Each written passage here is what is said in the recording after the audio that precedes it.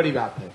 लेकिन राजनीतिक प्रतिशोध के मामले से या राजनीतिक छोटे मन से अगर आप इस तरह का काम करते तो मेरी नज़र से ठीक नहीं है।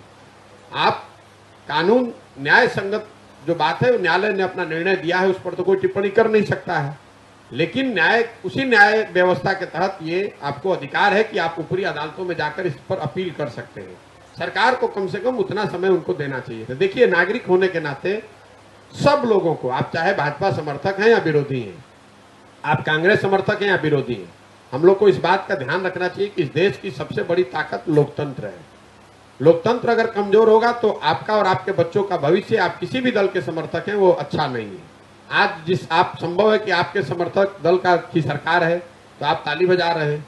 लेकिन आप ये भूलिए नहीं कि कल होकर अगर आपकी सरकार चली जाएगी और फिर यही चीज़ आप पर लागू होगा तो आपको अच्छा नहीं लगेगा। इसलिए लोकतंत्र जो है वो मज़बूत बना रहना चाहिए।